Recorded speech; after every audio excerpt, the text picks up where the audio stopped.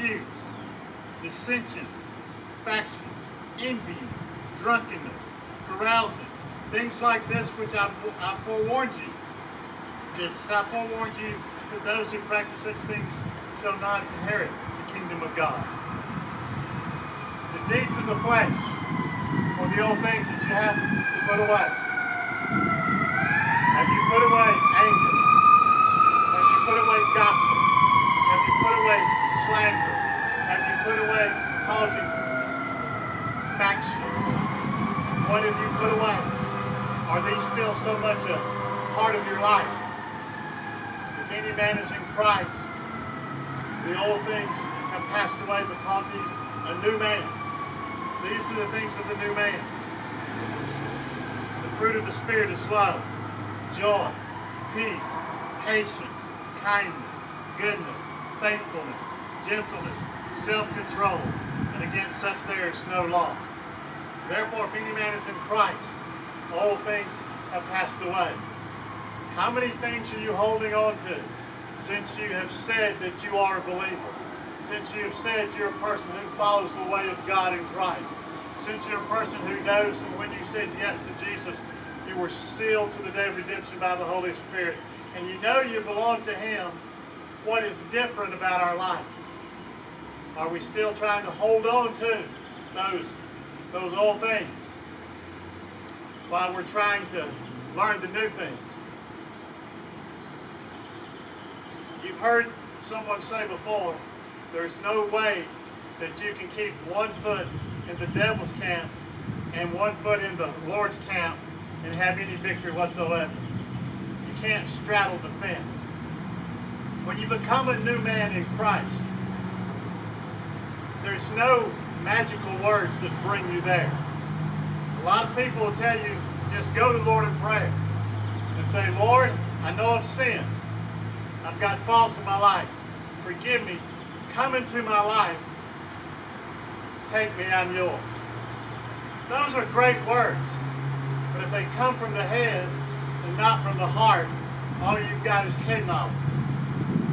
When you become a new man in Christ, it's got to reflect your heart, your character from who you were to who you, who you are now has to have drastically changed.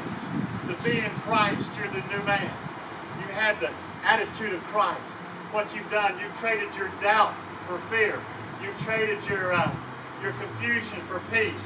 I wrote some of these down so I wouldn't forget them. Let me see where I put them. Here we go. You traded your doubt for faith. You traded your, your fear for faith. You traded your anxiety for peace. You traded hell for heaven. You traded so sorrow for joy. You, tra you, you traded uncertainty for the certainty of Christ. You traded instability so you could be steadfast and sure in the things of the Lord. You traded self for Christ, and you traded defeat for victory. This is what you traded. I need to know, are you living in those things? Are you living in faith? Are you living in peace? Are you living with the hope of heaven? Are you living with the joy of the Lord, which the Bible says is your strength? Are you living with certainty that you know that you know that if you died today, that you go to heaven? Are you steadfast and sure in who God is, what His Word says, and in your faith?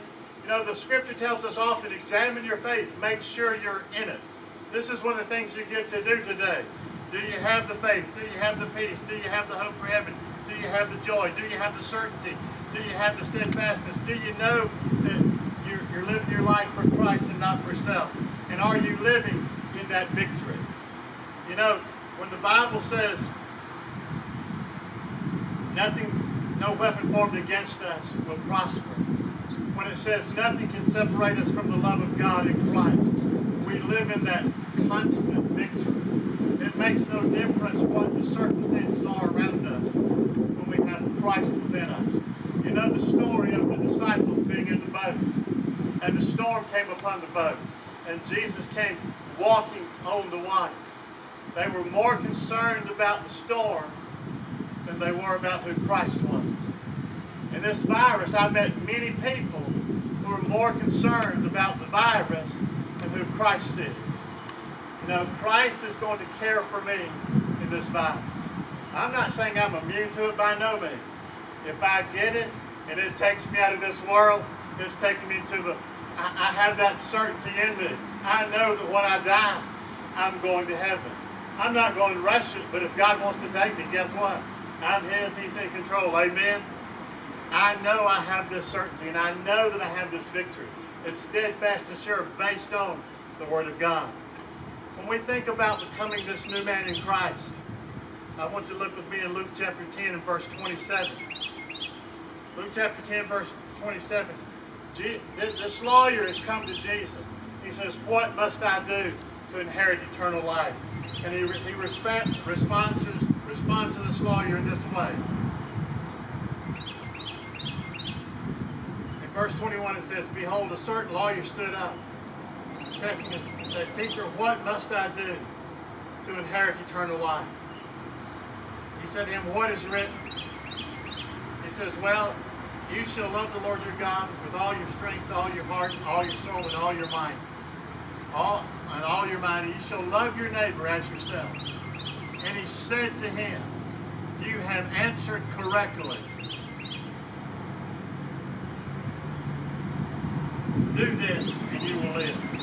When you give yourself to Christ and you become that new man, new, new person, you have the opportunity to put your life in service by committing your all to the Lord. If you notice before each one of those words in chapter 10, verse 27, the word all is before each one of those. Give all of your heart, give all of your mind, give all of your strength. You see, you can't give Lord 75%, you hold on to 20. You can't even give him 99% and you hold on to one. You can't hold a secret room in your heart just for you to do what you want to when you want to. You've got to give it all to Him. You see, that means total surrender. I know the scripture says in Romans 10 13, for whosoever shall call upon the name of the Lord be, be saved.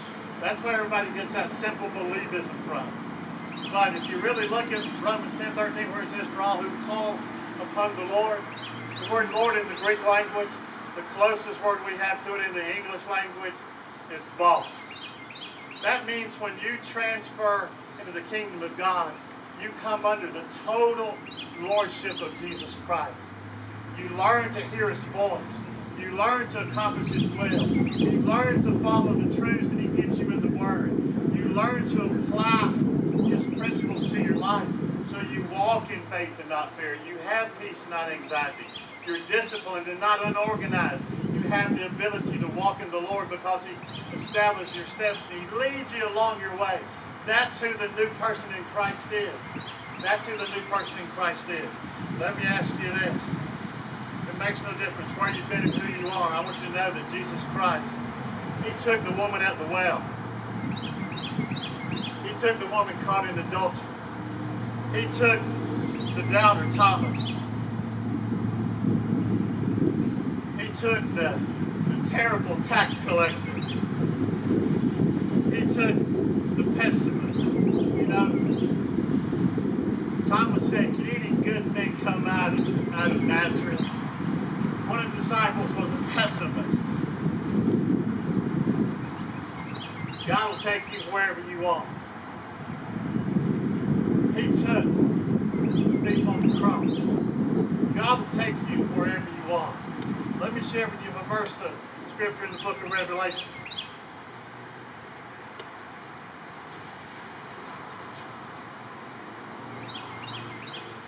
verse 22, verse 17. And the Spirit and the bride said, Come. Let the one who hears say, Come. Let the one who is thirsty come. Let him who wishes to take the water of life without cost, let him come.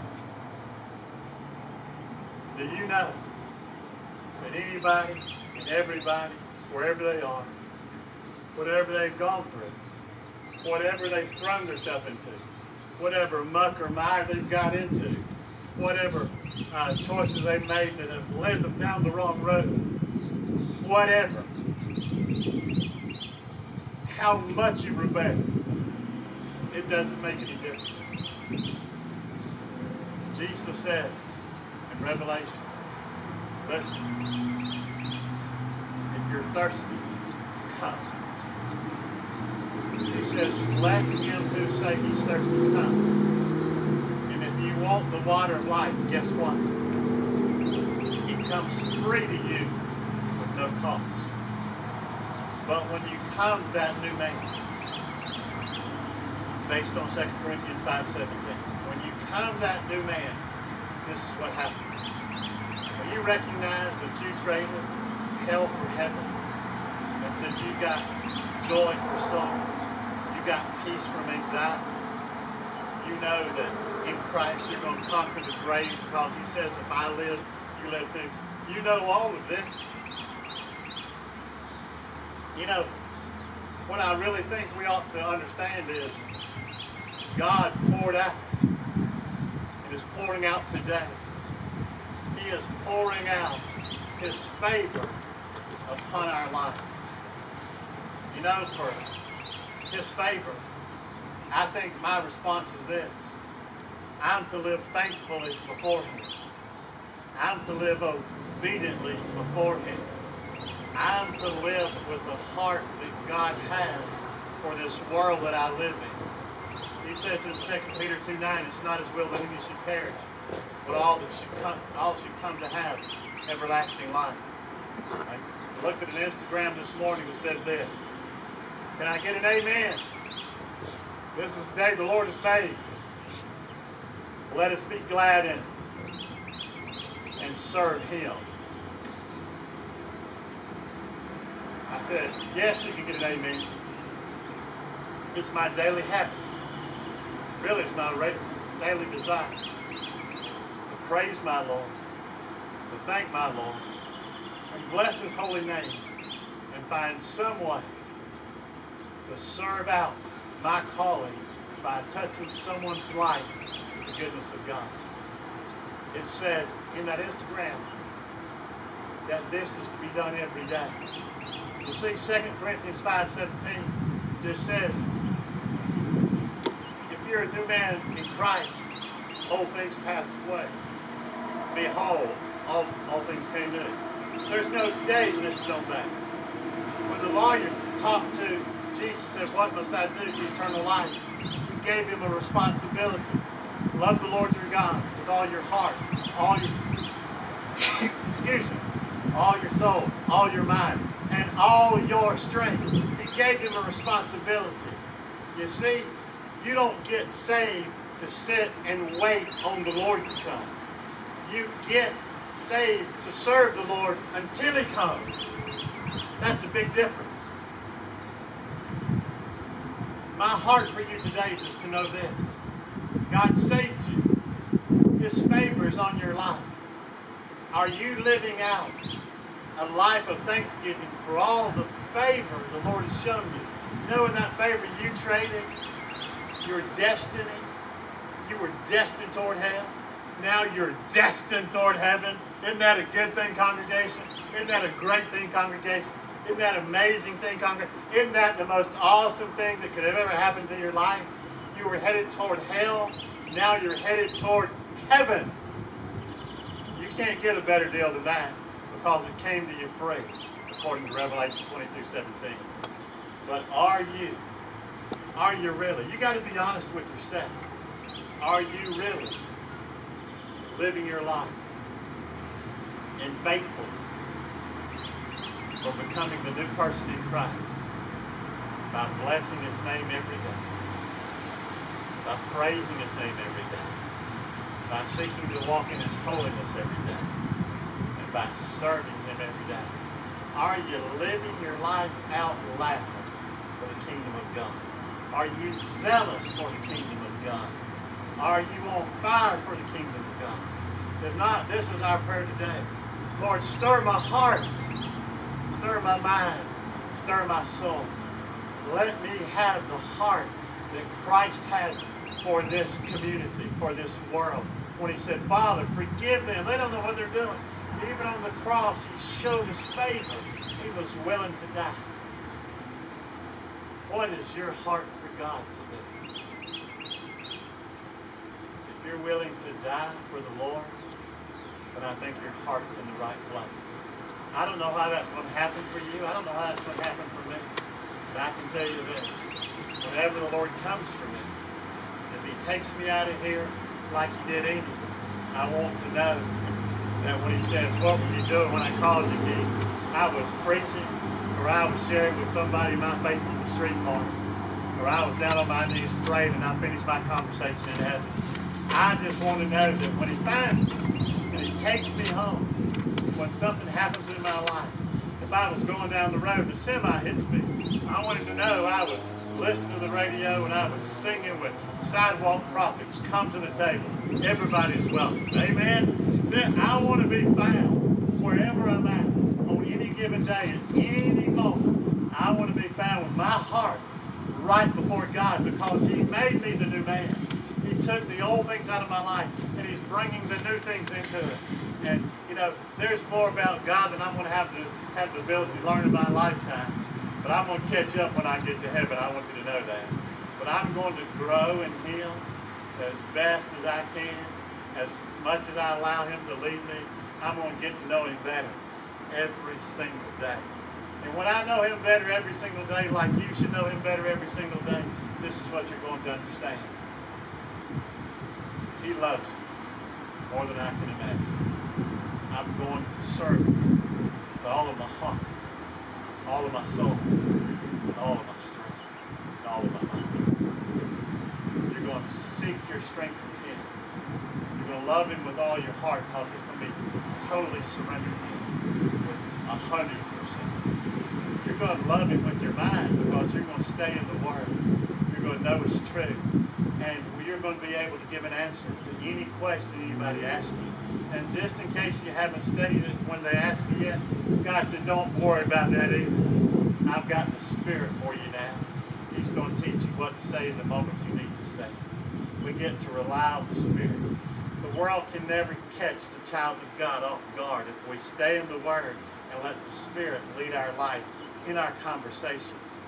We will be those vibrant, living, new men and women in Christ who get our life 100% every day. For those of you don't know, Scripture says this. Come and take of the water of life without Jesus Christ. Jesus says, I'm the bread of life. He says nobody comes to the comes to the Father but by me. He's the light of the world. You need him in this dark hour that we're. You don't know Jesus Christ as your Lord and Savior, my heart contains that you know him today.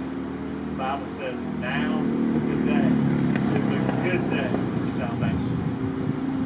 You don't need to put it off any longer.